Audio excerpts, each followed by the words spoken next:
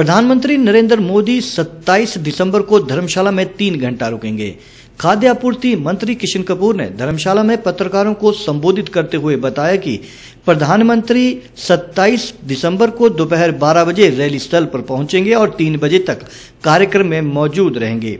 गौरतलब है कि प्रधानमंत्री प्रदेश सरकार के एक साल के सफल कार्यकाल के उपलक्ष्य में आयोजित रैली में भाग लेने धर्मशाला आ रहे हैं। इस मौके पर वे पुलिस मैदान धर्मशाला में आयोजित विशाल जनसभा को संबोधित करेंगे। किशन कपूर ने कहा कि प्रदेश सरकार प्रधानमंत्री के दौरे को ऐतिहासिक बनाने के लिए तैयारियों में जुट गया है। प्रधानमंत्री रैली में राज्य सरकार और केंद्र सरकार के विभिन्न जन कल्याणकारी योजनाओं के लाभार्थियों से सीधा संवाद करेंगे।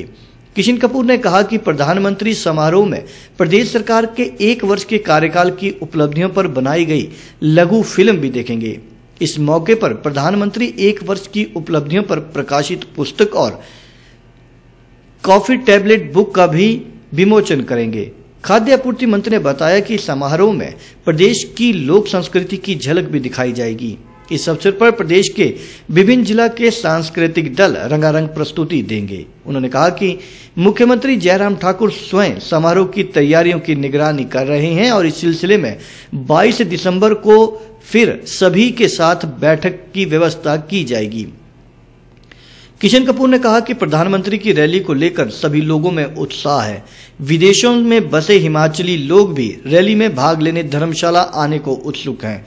उन्होंने एक वाक्य साझा करते हुए कहा कि सोशल मीडिया पर रैली में भाग लेने के लिए उनके द्वारा किए गए आग्रह के जवाब में, ओमान में बसे हिमाचली लोगों ने रैली में आने की इच्छा जताई है। ये इस बात को दर्शाता है कि प्रधानमंत्री के प्रति लोगों में कितना प्रेम है।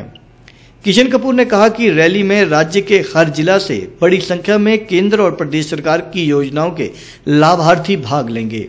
उनके यातायात ठहरने व भोजन की व्यवस्था की गई है। सभी बसों में लाभार्थियों के साथ दो दो सरकारी अधिकारी भी रहेंगे, जो धर्मशाला में वाहन की पार्किंग एवं सभा स्थल पर लाभार्थियों को पहुँचाने की व्यवस्था देखेंगे। बसों में पार्टी संगठन की ओर से लाभार्थियों के साथ बस प्रमुख भी रहेंगे। वे बस में तैनात सरकारी अधिकारी से संपर्क में रहेंगे। संबंधित विभाग के जिला अधिकारी, प्रभारी के तौर पर अन्य जिलों से आने वाले अपने विभाग से जुड़े लाभार्थियों से भी संपर्क करेंगे। रैली में हर जिला के लाभार्थियों की आसान पहचान के लिए विशेष कलर स्कीम लागू की गई है। सताईस तारीख को हिमाचल सरकार की जो एक वर्ष उपलब्धियाँ भरा प्रदेश की जयराम ठाकुर सरकार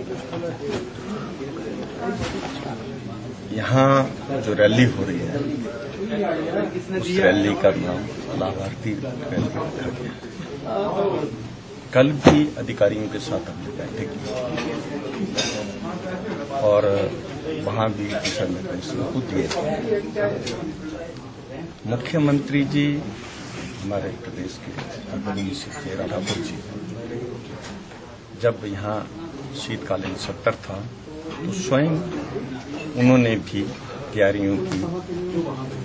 यहाँ लेकर तैयारियों के लेकर अपने आप निरीक्षण किया है। और हमारे प्रदेश के मुख्यमंत्री जी जयराम ठाकुर जी तारीख तैयारियों की फिर से समीक्षा करेंगे। रैली की तैयारियों के लिए हमारा संगठन जो है, भारतीय जनता पार्टी भारतीय जनता पार्टी हर बूथ में जाकर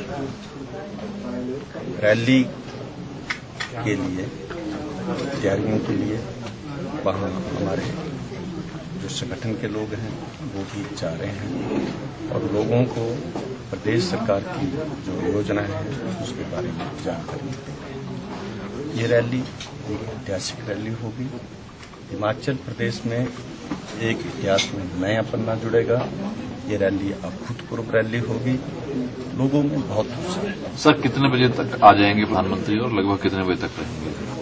प्रधानमंत्री जी लगभग बारह बारह बजे आ जाएँगे लैंड करेंगे और सवा बारह बजे मतलब यहाँ पुलिस ग्राउंड में पहुँच सर ये प्रधानमंत्री जी का भाषण ही होगा कि या कुछ और सांस्कृतिक या अन्य कार्यक्रम और कार्यक्रम भी उसके साथ रखेंगे। जिसकी जानकारी मैंने अभी प्रेस वार्ता में आपको दी।